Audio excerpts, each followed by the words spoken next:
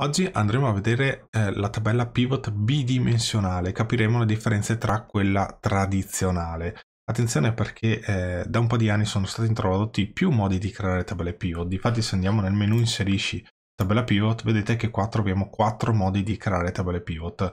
Ogni sistema lavora a suo modo. Diciamo che il principale è da modello dati che è la pivot bidimensionale e da tabella intervallo è quella di Excel. Questa qua giù probabilmente non la vedete a meno che non abbiate Power BI e abbiate installato il driver apposito perché vi permette di connettervi a dei set di Power BI Desktop all'interno della service, però non andremo a trattare questo tema. Oltre a questo vedremo le opzioni più importanti da tenere sott'occhio quando andiamo a utilizzare le tabelle pivot in modo da essere sempre certi che i dati che poi eh, risulteranno esposti all'interno di queste tabelle siano sempre corretti oppure avere modalità di vedere il dato che sono differenti da quelle eh, standard. Allora andiamo nel file di esempio che ho preparato. Ho preso uno dei vecchi file che abbiamo utilizzato, quindi queste due tabelline qui le ho importate all'interno di Power Pivot e ho creato la relazione, quindi da qui andremo a creare la pivot bidimensionale e queste due le ho caricate in Excel in modo da poter creare una tabella pivot tradizionale. Allora se andiamo qui tabella, andiamo da tabella intervallo, vedete che lui mi dice eh, dammi il perimetro di dati da utilizzare per creare la pivot tradizionale. Quindi se noi andiamo qui, andiamo ad esempio in WIP, se faccio un clic qui o faccio l'area, vedete che lui seleziona quest'area. Se voglio prendere tutta la tabella che ho esposto con la connessione, basta andare nell'angolino in alto a sinistra. Se noi clicchiamo qui, vedete che lui va a selezionare il nome della connessione. Così se poi l'intervallo si espande o le colonne aumentano, lui lo ridimensionerà in automatico e la pivot vedrà sempre tutti i dati. È importante farlo così. Quindi diamo l'ok e ecco che ho creato la mia uh, pivot. Ora mi sposto sulla uh, sinistra, quindi tiriamo giù la famiglia ad esempio e tiriamo giù ad esempio la quantità vedete che ho creato la pivot tradizionale. Ora creiamo una pivot bidimensionale, quindi andiamo sempre in uno spazio bianco, andiamo in inserisci e andiamo su tabella pivot e qui vedete che adesso avendo dei dati all'interno eh, di Power Pivot anche questo connettore si illumina ed è verdolino da modello dati. Quindi se clicchiamo qui lui dice perfetto dove vuoi posizionare questa pivot perché lui la prende in automatico dal modello di dati. Facciamo semplicemente clic su ok così avremo creato la nostra uh, pivot. Vediamo già la differenza perché quando siamo nella pivot bidimensionale qui vediamo tutte le tabelle che sono esposte all'interno dell'Excel e anche di Power uh, Pivot. Se invece clicchiamo sulla pivot tradizionale vediamo solo i dati del set di dati che abbiamo selezionato perché può comunicare solo con quel set di dati. Bisogna fare attenzione a una cosa, se noi andiamo di qua vediamo che sul riquadro di destra abbiamo queste lineette grigie. Queste lineette ci dicono come sono poi eh, trattati i dati all'interno del nostro modello. Quindi vediamo che qui abbiamo ad esempio il simbolo arancione del database e questo ci dice che eh, sono tabelle presenti all'interno di Power Pivot. Invece queste non sono presenti all'interno di Power Pivot, sono esposte su Excel. Vediamo che non c'è il simbolino arancione. In più questa linea eh, grigia ti, ci dice proprio che sono connessioni indipendenti, quindi non bisognerebbe andare ad utilizzarle. Facciamo una prova, però lui ce le mostra lo stesso, no? Quindi se io adesso do un'occhiata velocemente al modello di Power Pivot, vedete che io qui ho queste due tabelle, la WIP e l'anagrafica, che sono proprio queste due.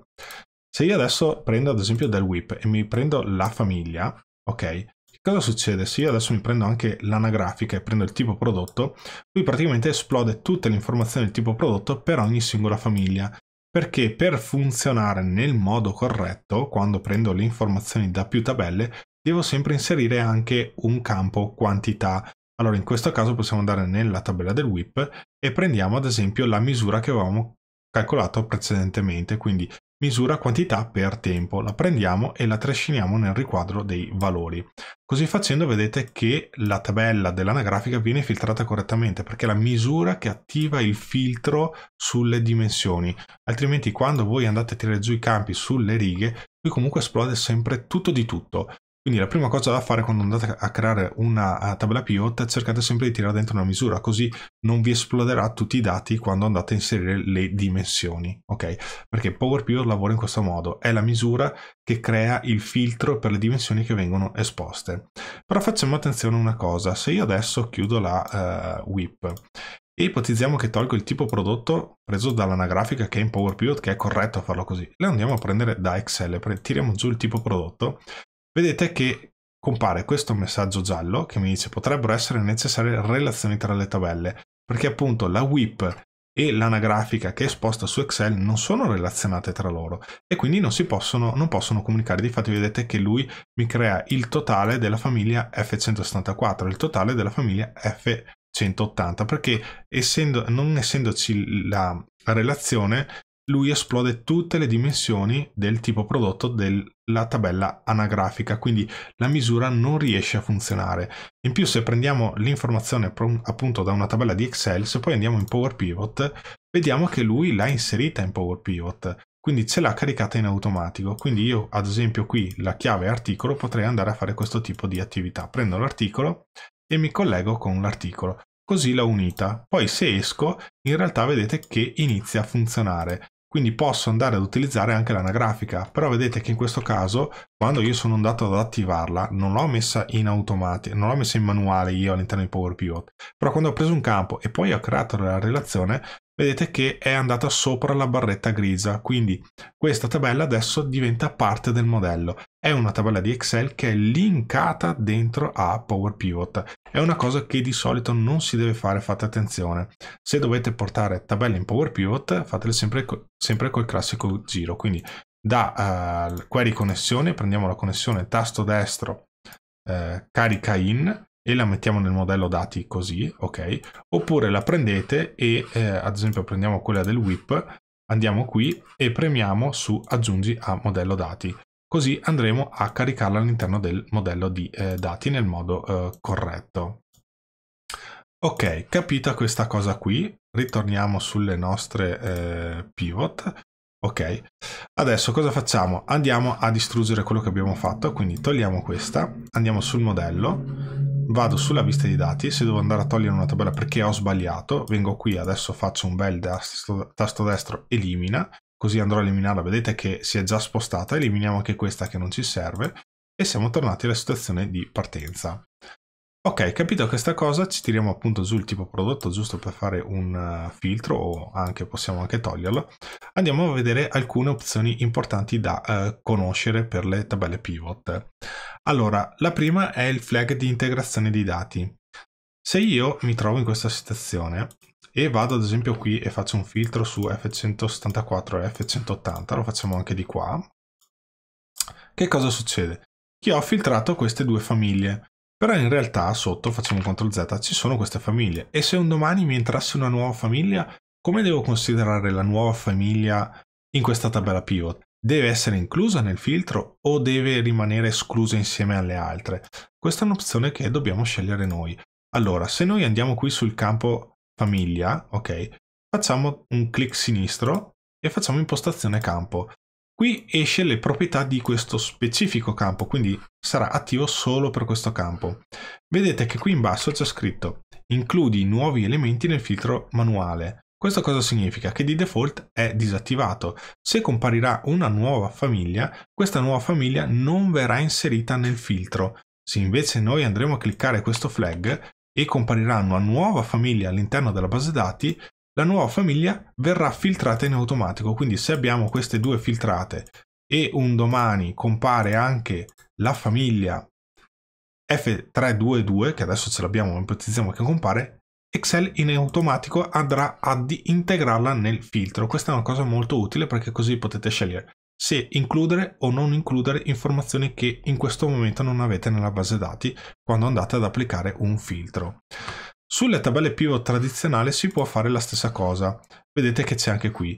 Sulle tabelle pivot bidimensionali, quelle di Excel, c'è un piccolo problema, perché sulle tradizionali se io prendo questa famiglia e andiamo sui filtri, questa cosa qui, se andiamo su impostazioni campo, possiamo utilizzarla, quindi è funzionante. Invece sulla tabella pivot bidimensionale, se io prendo questo campo lo porto su e andiamo a vedere la proprietà, vedete che impostazione campi è disattivato. C'è un trucchetto per entrare sull'impostazione campo. Possiamo fare clic destro sul campo esposto sulla pivot e facciamo impostazioni campo, così lui ci lascia entrare ugualmente.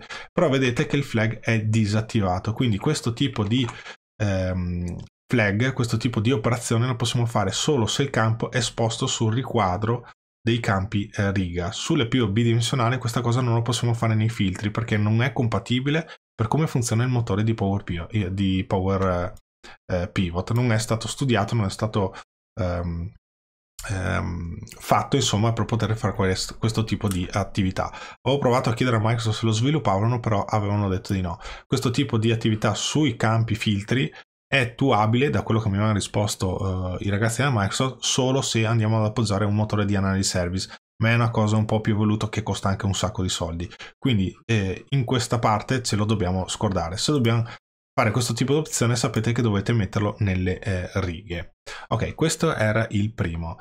Poi una cosa magari che può dar fastidio è che eh, se andiamo sui campi attivi, ora se io sono qui ho sempre i campi della mia tabella al quale sono agganciato, se sono di qui ho tutti e attivi, ok? Quindi se vado su attivi vedete che vedo le due tabelle che io sono andato ad utilizzare. Adesso io però, se guardate in basso, ho preso la famiglia che è del WIP e la misura che è del WIP. E lui mi mantiene anche l'anagrafica perché prima ho preso un oggetto dalla tabella WIP. Quindi qui è utile per vedere eh, nella pivot quale tabelle sto utilizzando e lui me le mette in grassetto, vedete che WIP è in grassetto, invece l'anagrafica no.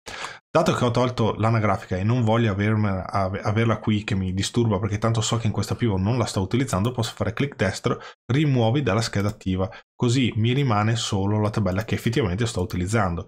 Devo utilizzare un campo dell'anagrafica? Nessun problema, torniamo su tutti e comunque ritroviamo le informazioni. Nel momento in cui tiriamo giù il tipo prodotto e torno sull'attivi, me le trovo comunque tutte e due, però se ho 10 tabelle questo mi aiuta tanto perché ho meno confusione.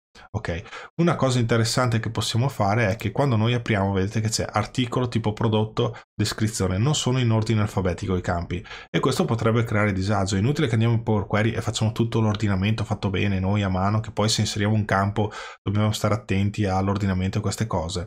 Possiamo semplicemente andare con tasto destro, opzioni tabella pivot e qui possiamo andare semplicemente su totali filtri, visualizzazione e facciamo ordina dall'A alla Z. Facendo così andremo a ordinare i campi dall'A alla Z, oppure possiamo andare sulla rotellina più semplicemente, facciamo ordina dalla A alla Z. Così ordineremo i campi dalla A alla Z e ci risulterà più semplice andare a cercare i campi.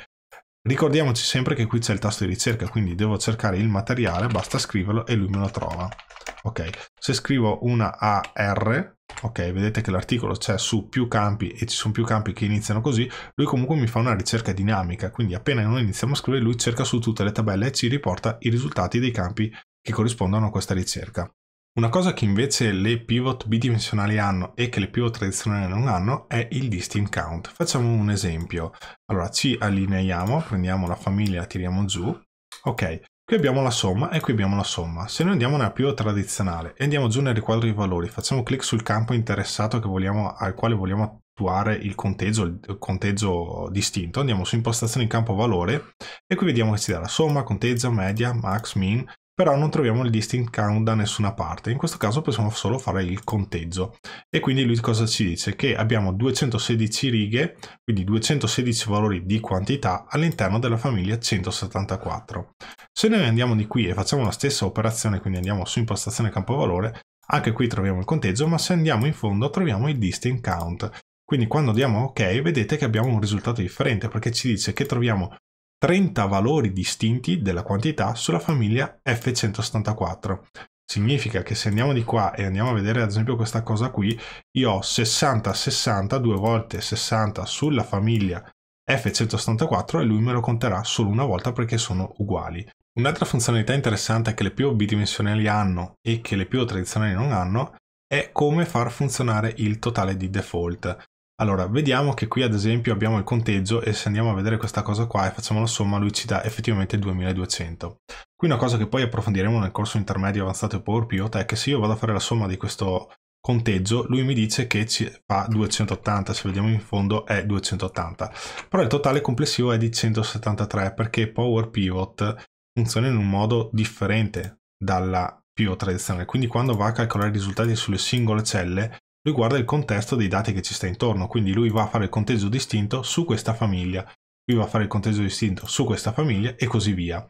Quando arriva il totale, lui non trova un filtro, non trova un dato che deve andare a considerare. Quindi lui va a fare il conteggio distinto su tutto il set di dati e il conteggio distinto del campo quantità sul set di dati è uguale a 173, quindi fa, i totali non fanno mai la somma di quello che c'è sopra, viene sempre eseguito in modo eh, a sé stante. Ovviamente se io qui vado a mettere il, eh, la somma tradizionale, compare comunque il dato corretto, se io sommo questo ho 277.786, ma perché se vado a prendere l'intero set di dati e vado a fare la somma del campo quantità mi dà questo risultato. Invece sul distinct count c'è un, un dettaglio, c'è la famiglia che va a spezzarmi il set di dati che devo analizzare per fare il distinct count. Comunque queste sono cose che poi approfondiremo nella parte intermedio avanzata. Se io adesso vado qui e ritorno a mettere il, la somma e vado nelle impostazioni della tabella pivot e andiamo su totali filtri, io vedo queste opzioni. Su Power Pivot ce ne sono, sulle pivot bidimensionali ce ne sono un po' di più. Difatti se andiamo qui posso decidere di far funzionare questo totale in modo differente. Eh, proprio per la tecnica, per la modalità d'uso che vi ho appena spiegato. Quindi se vado su totali filtri, io qua vedo includi elementi filtrati nei totali, cosa che di là non posso fare. Quindi lui andrà a disattivare questa, quindi attivo questa, mi disattiva questa e mi consiglia di mettere l'asterisco quando uso questa opzione ed è giusto che lo faccia, vi consiglio di tenerlo.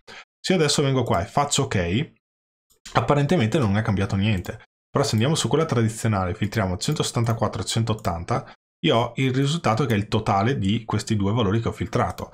Se vengo qui avendo attivato quell'opzione che vi ho detto prima, vedete che è comparso anche l'asterisco, quando vado ad effettuare un filtro, F174 e F180, non mi fa vedere il totale di questi due numeri qua, ma mi fa vedere il totale di tutta la base dati, perché non voglio che il totale perda eh, il totale del mio set di dati, non voglio che senta i filtri. È un'opzione che possiamo utilizzare. Ovviamente se torno dentro e vado su totale filtri e tolgo questo flag e rimetto quello di prima, quindi devo avere questo attivato, faccio ok, comunque va a farmi il totale come la pivot tradizionale. Un'altra cosa da fare attenzione è il mostra dettagli. Se noi andiamo qui e facciamo un doppio clic su questo dato, lui mi dà il dettaglio esploso di quel dato. Se noi andiamo qui e facciamo un doppio clic, vediamo che mi dà sempre eh, l'esploso di quel dettaglio, però qua su mi dice dati restituiti da somma, ok, e mi fa le prime mille righe e se ho più di mille righe come faccio ad avere il dettaglio? Per cambiare questo numero di righe che vengono esplose eh, dal modello di dati dobbiamo andare sulla connessione di Power Pivot, quindi basterà andare qui menu dati, query e connessioni, se non vi compare il pannellino, andiamo su connessioni e, questa, e qui troviamo la proprietà per cambiare questa, uh, questo numero qua, quindi tasto destro sul modello, proprietà, vedete che qui c'è 1000, numero massimo di record da recuperare 1000, perché c'è questa cosa? Di default mette 1000 perché eh, generalmente non ha senso andare a analizzare più di quei record lì. Però possiamo andare a mettere anche un milione. Se noi in Power Pivot stiamo caricando 10 milioni di record, il limite di Excel è un milione, quindi ci deve essere questa cosa in più rispetto alla pivot tradizionale. Perché appunto se andiamo a esplodere 10 milioni di righe andiamo oltre il limite di Excel. Un'altra cosa che dovete fare attenzione è che ehm, anche questa sarà una cosa che tratteremo nel corso intermedio avanzato, è che a volte quando andate a fare un doppio clic sulla misura, quindi sulla quantità, la base dati che viene esplosa non vi dà il dettaglio esatto. Questo perché con il DAX possiamo andare a creare delle misure molto particolari che vanno a scardinare il sistema classico di funzionamento delle, eh, delle pivot quindi magari qui possiamo metterci dentro un filtro forzato Prendisi la 180 che lui vede che è qua, però vai a filtrare magari anche il colore rosso, solo il colore rosso. E io qui non lo sto filtrando, però con la misura sto dando una forzatura. Quindi quando facciamo doppio clic su sta cosa, lui comunque esplode i filtri che vede esposti nella pivot. Non sente eventuali forzature che mettiamo coi filtri dentro le formule di DAX. Questo è un concetto un po' difficile forse da affrontare ora, però verrà approfondito nel eh, eh, corso a seguire. Attenzione ai filtri, se voi andate a filtrare un campo, ok, quindi la famiglia è filtrata, se noi andiamo a vedere qui sul riquadro che cosa c'è, vedete che qui c'è un imbuto. Se io tolgo il campo da qui, oppure lo trascino fuori, l'imbuto rimane, quindi in realtà il set di dati sotto rimane filtrato. In realtà se io poi prendo un altro campo, ad esempio ci prendiamo l'articolo linea lo tiro giù, lui comunque mi sta tirando fuori tutto il set di dati corretto, quindi mi fa, sta facendo la somma corretta. Però in alcune casistiche questa cosa può creare dei danni perché vi trovate dei filtri dentro alla pivot. È uguale anche di qua, quindi se io prendo la famiglia e la tolgo vedete che l'imbuto rimane.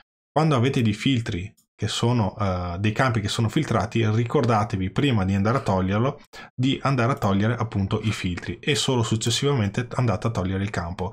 È importante, state attenti perché è un attimo andare a sbagliarsi su queste cose. Ok, direi che come panoramica generale è più che sufficiente, abbiamo visto la differenza tra pivot bidimensionali e pivot tradizionali e le opzioni principali a quale fare attenzione.